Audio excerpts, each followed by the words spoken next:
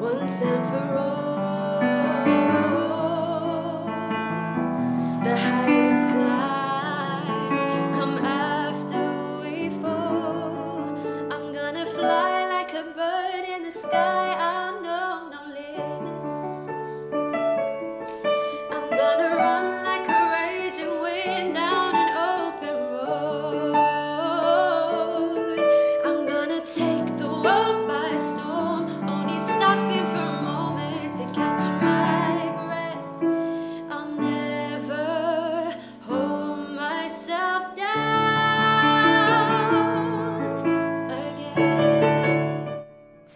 The show is a song cycle. So we meet many different characters who are at a point in their life where maybe they're starting on a new journey, they're looking to do something new, to start over. I think you should come and see the show because it's new writing which needs to be supported and it's exciting um, and yeah, it's it's a great time and come and come and be on board with the song cycle with us.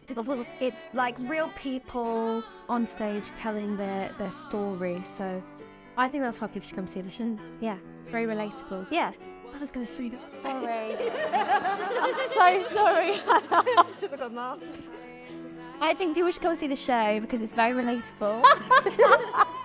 and I think anyone watching it can kind of pick a part in it and be like, oh, I, I feel like that too. Um, and it's really interesting to see, I guess, five people living in the same space, kind of going through the same thing, but everyone can be feeling a different emotion in that time.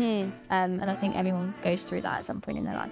Also, the, the joy about live theatre as well is having moments where you, you cry, you laugh, you connect, you relate, all of those things. And I definitely think that this show does all of those things. So, Yeah, I've cried. So. so come along, cry. and laugh. And laugh. laugh.